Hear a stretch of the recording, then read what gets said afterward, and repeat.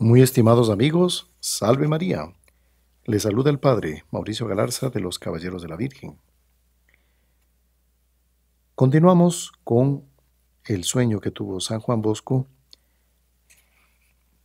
vislumbrando la vocación que Dios le daba.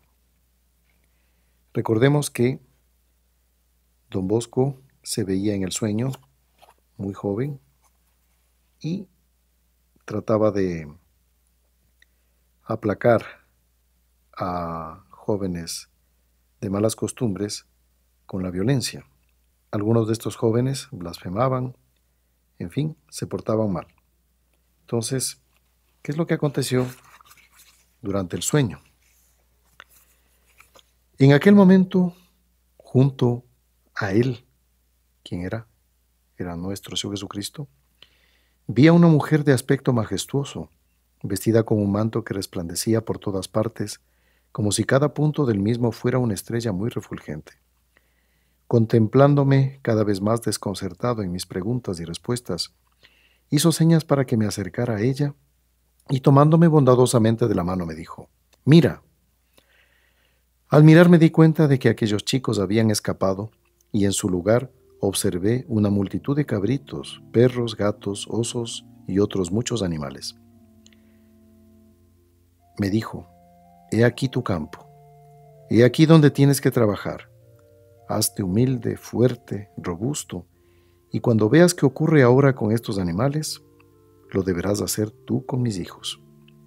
Entonces volví la mirada, y en vez de animales feroces, aparecieron otros tantos mansos corderos que saltando y balando corrían todos alrededor como si festejaran a aquel hombre y a aquella señora. En tal instante, siempre en sueños, me eché a llorar y rogué al hombre que hablase de forma que pudiera comprender, pues no sabía qué quería explicarme.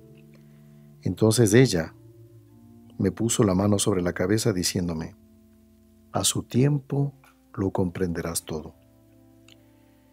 Dicho lo cual, un ruido me despertó.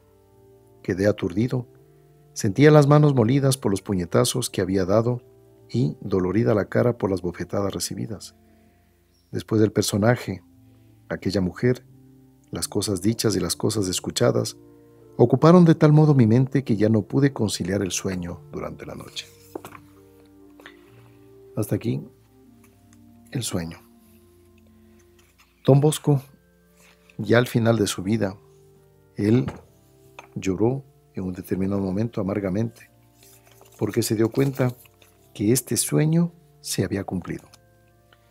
Qué hermoso para un hombre con esta vocación ver al final de sus días el cumplimiento de un sueño que él tuvo muy pequeño. Lo que le distinguió a don Bosco para todo su gran apostolado fue la devoción a la Virgen Santísima y la devoción al Santísimo Sacramento. Él fue ardorosísimo devoto de María Auxiliadora y sin el auxilio de ella no hacía ninguna obra de apostolado. Sin el Santísimo Sacramento, como ustedes saben, en determinado momento de su vida ya se ordenó sacerdote. Él tenía una ardiente devoción a la Santa Misa y a la Sagrada Eucaristía, al Santísimo Sacramento en adoración. Él adoraba a nuestro Jesucristo largas horas, largo tiempo. Y este es el ejemplo que debemos seguir.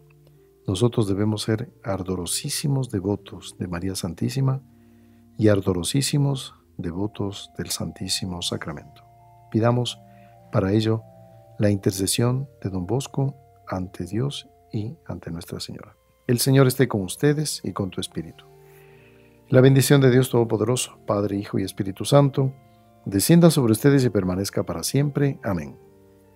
Dios te salve, Reina y Madre de Misericordia, vida, dulzura y esperanza nuestra.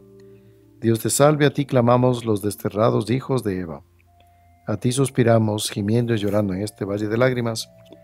Ea pues, Señora abogada nuestra, vuelve a nosotros esos tus ojos misericordiosos, y después de este destierro, muéstranos a Jesús, fruto bendito de tu vientre, oh clemente, oh piadosa, oh dulce siempre Virgen María.